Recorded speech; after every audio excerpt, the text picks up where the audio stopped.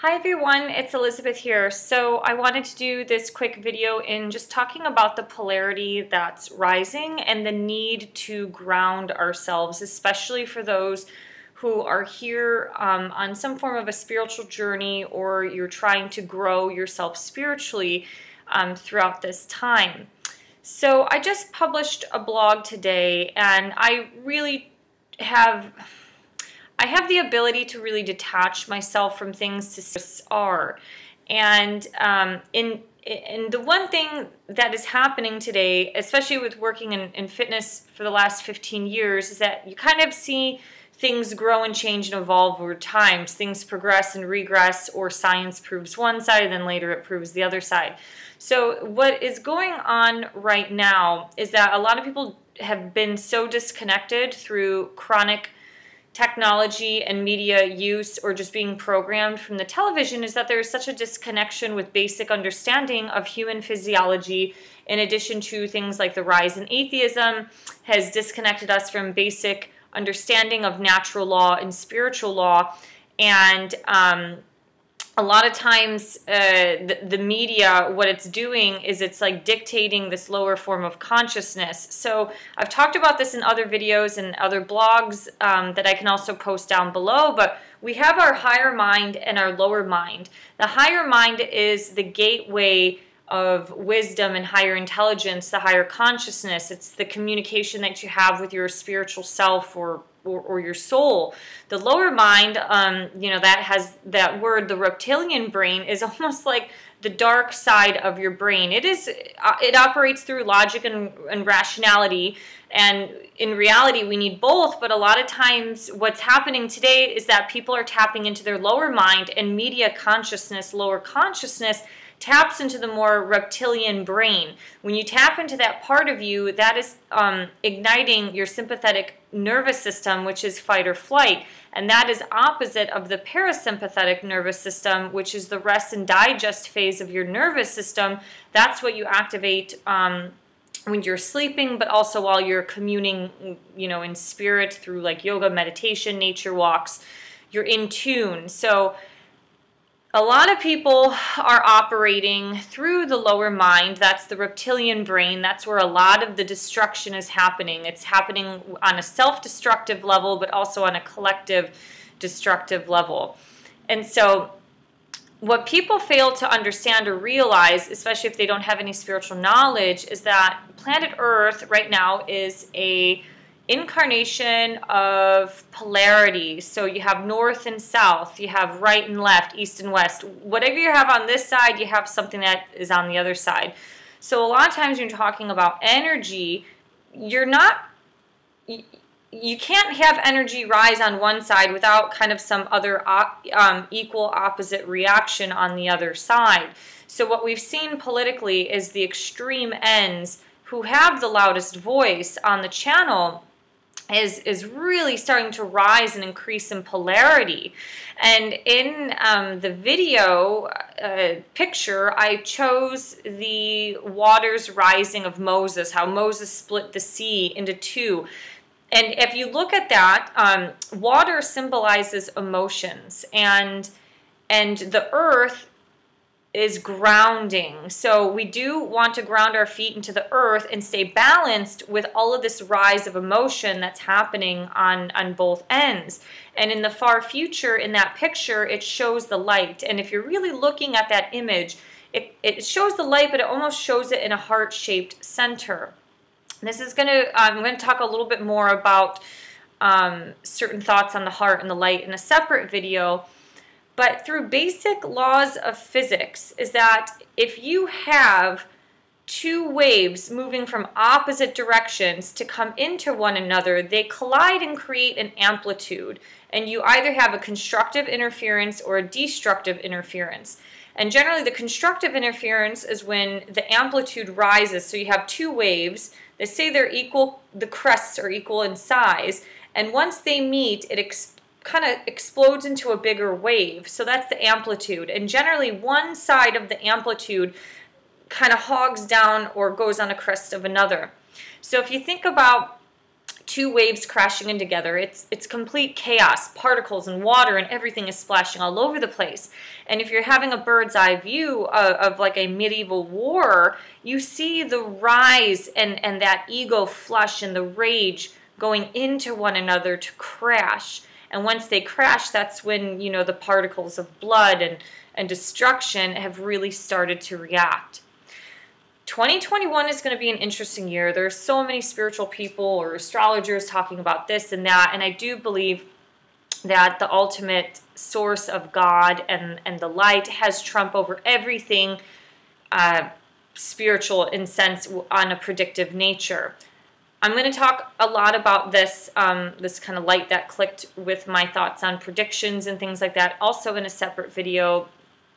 But what we are doing today is increasing the amplitude or increasing the crests basically of these two polar energies. So right now we have the option. We can get lost in the sea of the abyss on both sides or one side of um, the uh, energies, the polarities that are rising, or we can take this as a silver lining and, and look at the ground that is laid out in front of us and really ground ourselves. Now, this doesn't necessarily mean just stick your head in the sand and not be aware. It, it's, it's to be aware of what's going on and also walking still in that spiritual path of being a beacon of light for people. So, not necessarily putting them down for what their spiritual belief is or whatever, um, but grounding yourself and being aware and not fueling the consciousness that lies in the polar energies a lot of people who sit in the middle don't really have a voice or an opinion. One, because it's not that sexy, and two, um, because uh, they they are fearful of some reprimand or backlash from one or both sides. I've been doing this channel for almost three years, and it's not really risen that much in a lot of the um, subscribers because a lot of what I talk about is pretty much from a middle point of view. It's not loud, it's not, you know, I don't have purple hair or tattoos, I'm not making things super sexy, I'm just, you know, using my webcam here. And, um, and, and a lot of that stuff is like, you have to be very mainstream in order for that voice to rise. And so generally you tend to get sucked into some side of the other on a, on a polar basis. And a lot of times that logic and middle of the path road is is not the popular side. And so when you're re-looking at that picture of Moses parting the sea, you have the ability to walk through a very grounding path and continue to develop your spirituality, to be aware but not get lost in the sea of the abyss. And that is the part or the path that is once again not necessarily, you know, sexy on a modern level of what, you know, sells, but it's actually the the and the truth for a lot of things because one side or the other is going to self-destruct not only themselves but the other side. Um, I would say that throughout the polarity rising, um, I'm just trying to look uh, at a couple things here. So um, when we're looking at the polarity rises, it, it, I think I already mentioned this, but it creates an opportunity to ground ourselves into the earth and with our emotions and keep focused on the light. I do believe we are at a point in human history where our consciousness and the things that we um, focus on will manifest. There is a there are a lot of people, astrologers, talking um, in 2021 how there there is energy for potential combustion of planets, which kind of sim, sim, symbolizes war. I do think if we focus on doom and gloom, we can easily manifest that, and the more we can easily manifest it is by getting lost in the polar ends of the spectrum. Um, and most people right now don't, you know, if you are a middle of the ground person, you don't really relate to either end of the spectrum because they're both filled with so much ego and energy and hate and and none of it comes from a higher sense of knowledge or thought.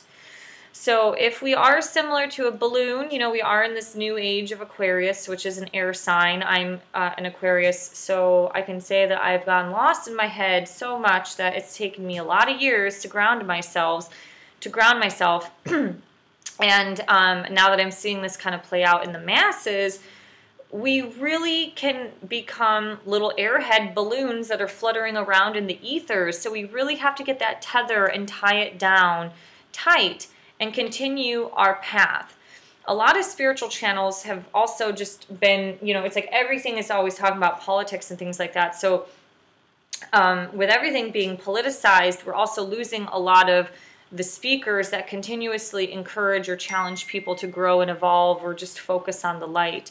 So um, I would say that right now, this this option. I'm sorry, I'm getting distracted because I'm getting little pings from my computer um, that are popping up. So during this time, my suggestion is just to remain grounded. And the ways that you do that are through things that activate your parasympathetic nervous system. So those are things like gentle nature walks and yoga and meditation, listening to soothing music, um, or just music that you find inspirational, working on art. We can, like alchemy, transmute the pain or the anger or the frustration that's within us and, and use that towards some form of creative energy. You know, that's that's the whole point of um, having a, a moral compass is how do you use your energy? Is it for creation or destruction? I've talked about this in a video I think I filmed like two years ago. I don't think it was the best video I ever did. Um, I don't even remember what I said, but I just mentioned that destruction and creation are one. Um, and every single day we are holding the hands of life force energy to create or destruct. And we can destruct people even through our words that can cut like a sword on the social media channels. And this is just continuing the cycle of bullying or putting people down, calling them stupid, and just um, continuing the thread of negativity.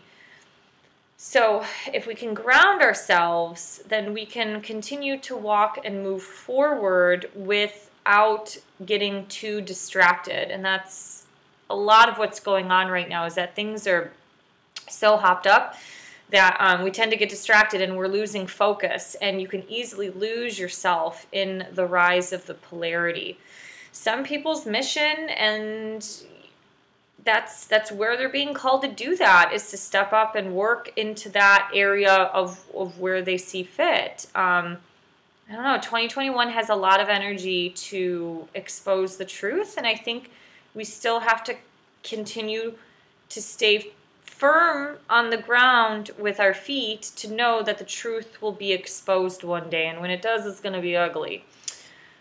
So these are some thoughts that I have. If you want to check out the blog links below about this, um, there is such an inner web of connection in between being grounded and also understanding how the ego fuels us and taps into different parts of our nervous system.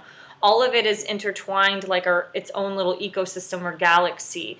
So you can choose to go down a destructive path or more of a, a path of, you know, transmuting that energy in a different way. Thank you for liking, sharing, and subscribing.